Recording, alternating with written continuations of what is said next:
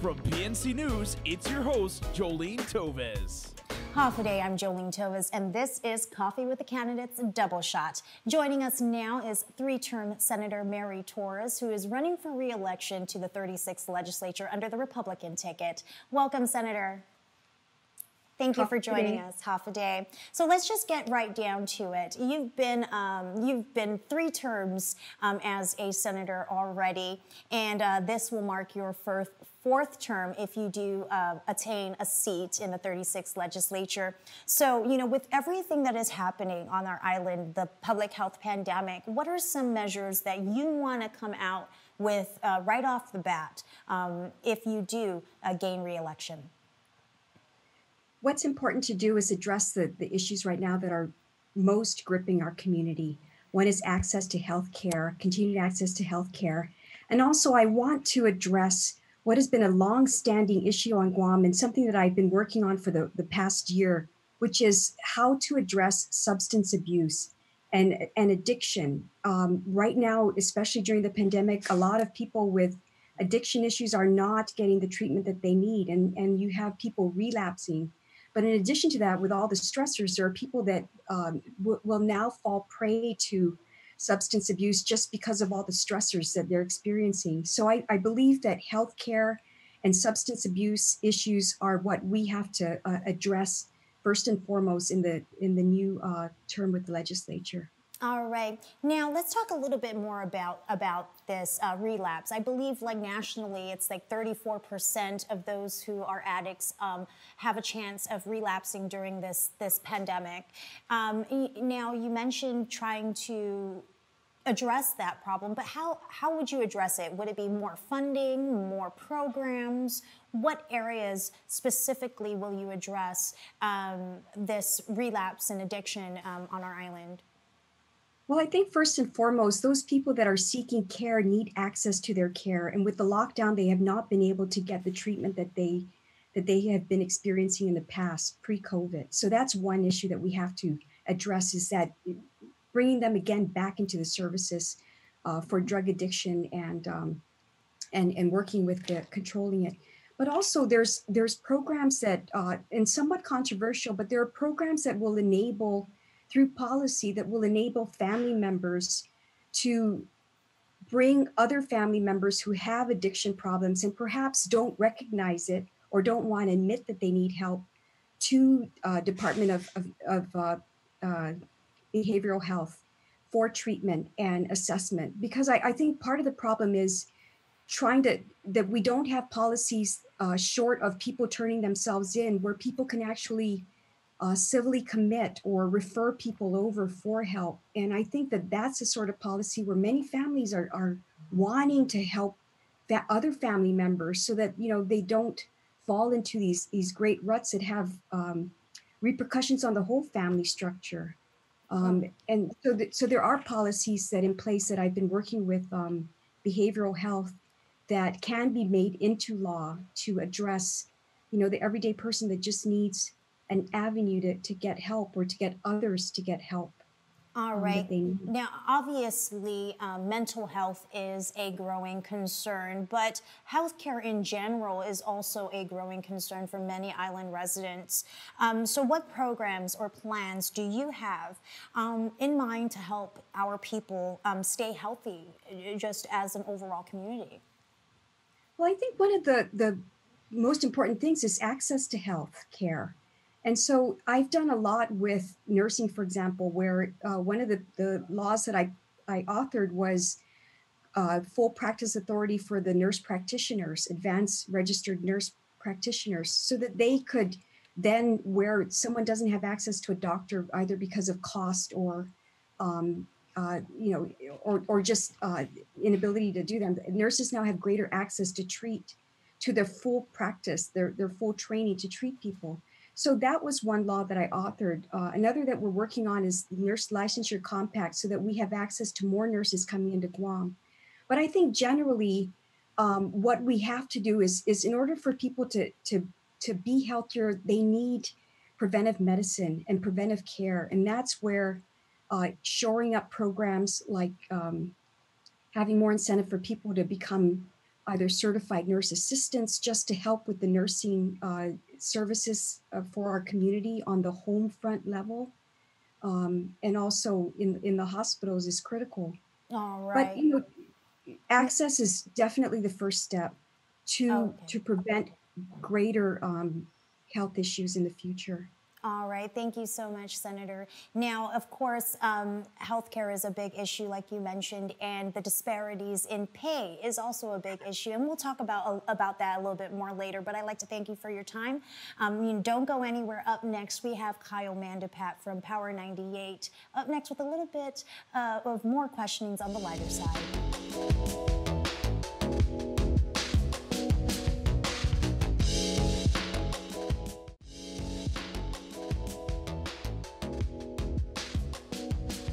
From Power 98, it's your host, Kyle Mandapat.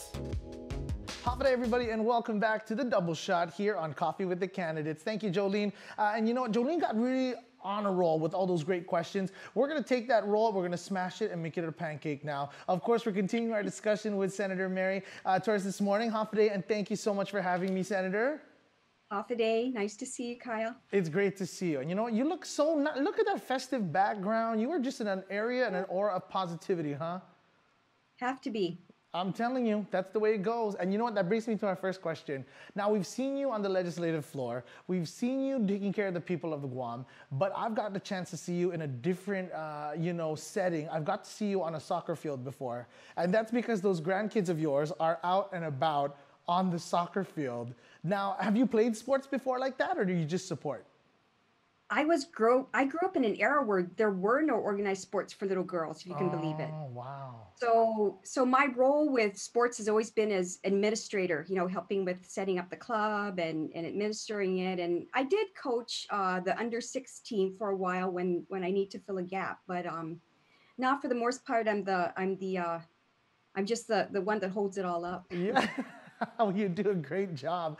And you know, it's one of those things to really see uh, you in Nana mode out there with the grandkids. I, I can really tell that the, the family is so important to you. You know what I mean? Um, during this whole uh, lockdown and isolation period, how have you been spending your time? Have you got a chance to hang with your grandkids?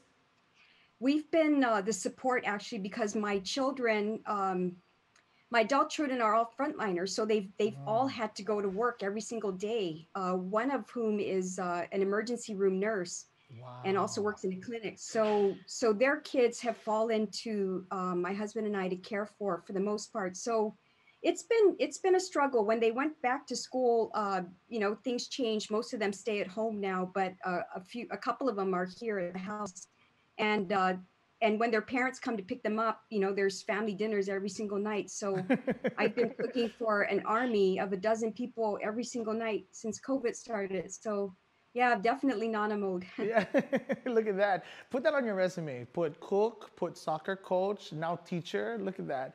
Uh, it Short looks- order cook too. Short yeah, order. It has to be a short cook. order, right? We're not waiting Yeah. around, Nana. Come on, I'm hungry. That's awesome Yeah. to hear. and you know, it really goes to show kind of uh, you know the different dynamic that we're able to see you in. Uh, what would you say, I guess, is, one of the biggest contributors to, to you and your goals? I mean, like I said, you're out there helping the island. You've got families in mind. I noticed that as well. What's something that inspired you to think that way? Why, you know what I mean? I just was I was just bred that way. You know, I was bred in a family where my parents all worked. I mean, my mother baked our bread. Uh, my dad used to whittle and carve. Every every waking moment was a productive moment in our house. But mostly, you know, we were we were kind of raised with uh, the attitude that hey, you know, if, you can have help, if it's there, just do it. Don't wait. Um, don't wait for an invitation. So you know, but mostly I I just I just enjoy life and and I enjoy being outside. I you know I'm I'm always doing stuff and keeping busy because it feels good and I I quite honestly love being around people. It, it there's nothing better than people watching in my book. There it's just just great joy and and gratification. I love it. Now you have all these grandkids. Has your Zori throwing arm gotten better over the years? Or are you not one of those nanas? Because my grandma was a oh, Zori thrower like crazy. No way. I'm the one that they're all under my skirt, you know. So Oh. there's a thing in my house where I said to my husband, why? Why is it that when they're fighting with each other, it's Nana? When they're scared, it's Nana. When they're excited, Nana. When they're mad, Nana. Everything's Nana. So my, you know, my name is just all the time. I said, why can't they call you? so I'm I'm the I'm the refuge. Uh, that's what it is. Is they they just uh, I have a soft spot spot for the kids and you know if if they could all climb in my bed and fall asleep there, that's where they're going to be. Oh, that's amazing. It's great to hear. And I'm glad that you're spending time with the kids during this uh, very, very tricky time uh, in our history. Um, Senator, we're going to get to our uh, community question now. We've had the opportunity to talk to so many people uh, who have watched and who are a part of the voting process. And one of them, by the name of Sheena, sent you this question. Okay. Okay, so the question is What will you do to give us more recreational activities for families? recreational uh, activities are so critical. And what I've always wanted for Guam was just access to the outdoors. You know, you don't need something so expensive, but if you can keep enough lifeguards at the beaches and more beaches open for families to go and just have leisurely activities. Uh, bike paths, I think, are a critical uh, thing that's missing on Guam for families to exercise and just get out. But I think that that uh, organized sports is always a good thing, but it, it requires a lot of investment. But what we do have on Guam are great um, nature. They, we have great nature. We have trails that we can walk. We have uh, beaches that we can visit. So what we have to do is just shore those up, make them accessible, make them clean, and make them self, uh, safe for families to just come out. Because you really don't need much to just enjoy. Um, you just need a good place to go where you can park your car safely and uh, bring your kids out and not worry about them walking into anything dangerous or you know being attacked by stray dogs or anything like that. Wow, that was beautifully said. As a father of three who's both broke and wants to get skinny, I go. support that movement. Thank you so much for your time uh, today, Senator. We look forward to seeing your progression here on the road to the general election. You have a great day, okay?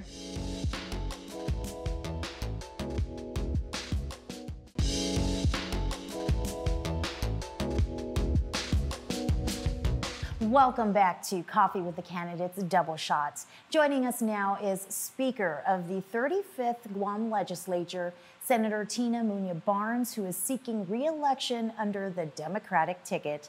Welcome, Senator.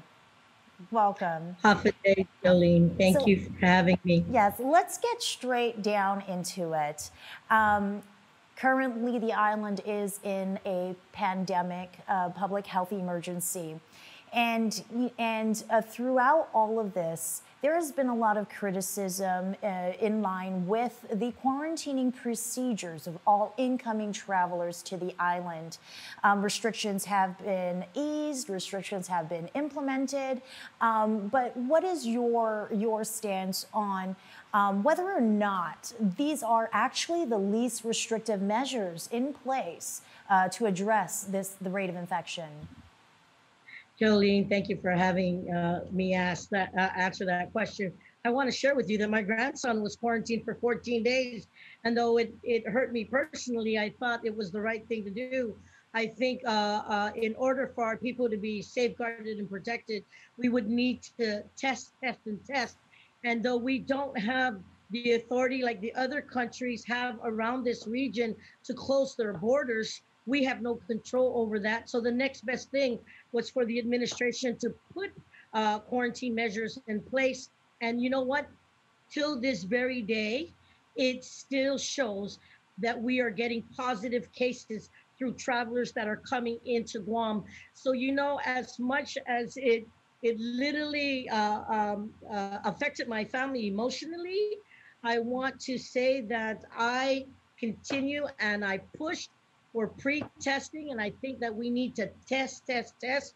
And I'm hoping that with the Surgeon Cells recommendation and others uh, with the medical advisory group, that uh, when they come here and they get uh, at least quarantine for at least the, the required time of uh, five to six days, that they can get a test again. And if they're negative, they can finish the rest of the quarantine period at home. So I think it's important that we still have some kind of protective measure in place uh, for quarantine for passengers coming in. All right. Now, during this whole entire pandemic, people have been looking at the budget. Where's the money going? Where should it go? Um, as a senator, if you had, uh, you know, uh, if you had control over where these fundings would go, where would you prioritize this, the, the money being spent? And would there be any cutbacks to government operations as far as those working from home or and still getting a full paycheck? You know, Jolene, I think it's real important to, to realize that during this pandemic, uh, the health uh, and welfare of our community is of the utmost importance. So I would put the, uh, the resources back into public health, into the emergency process. Uh, I introduced Bill 400. I did not support the override because I realized that there is funding that needs to go to public health.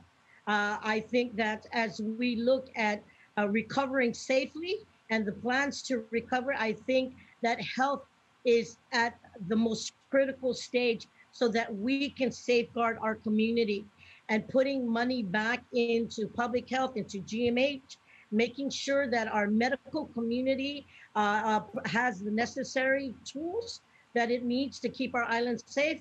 I think putting the resources into uh, public health is good. Uh, is would be the Inafa'maolek way to get things started.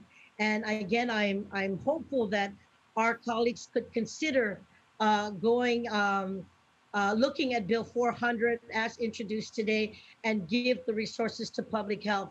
And uh, um, we need to also look at giving tax breaks to our small business community. This this 35th Guam legislature, my colleagues have helped in uh, giving zero to three percent to small businesses under 250,000.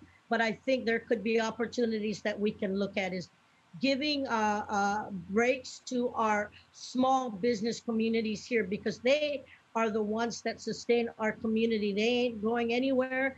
They are the backbone of our economic industry. Uh, we uh, are trying to revive on uh, tourism. Uh, I can also look at the medicinal cannabis component of that. I'm bringing a new industry here. But until then, what can we do to open up our small businesses and give back to our health because we are in this pandemic today.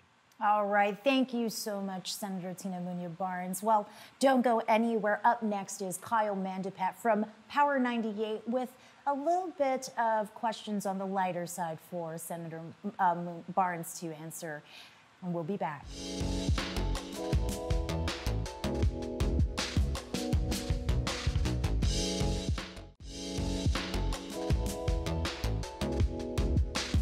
Hop day, everybody, and welcome back to Coffee with the Candidates Double Shot. I'm Kyle Mandapat, and we're continuing our conversation with Speaker Tina Muña Barnes. Half day, Speaker half a day. Many of God's blessings to you oh, and, and to you as well. people of Guam. You stop it. Now, you know, we've had the opportunity uh, to speak several times over the course of the many years of, uh, uh, of your great service to the island.